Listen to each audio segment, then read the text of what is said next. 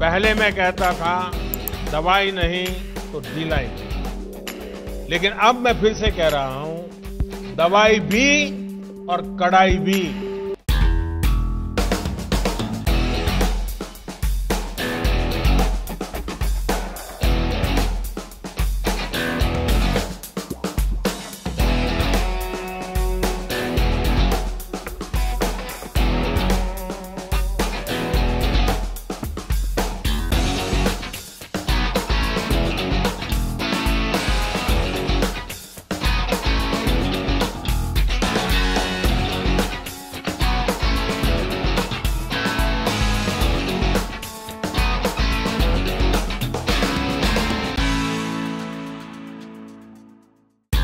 मेरा देशवासियों से आग्रह होगा कि कोरोना के खिलाफ एक अनजान दुश्मन के खिलाफ लड़ाई है।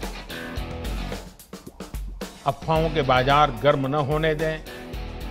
हम भी सोशल मीडिया में कुछ भी देखा बिना फॉरवर्ड न करें।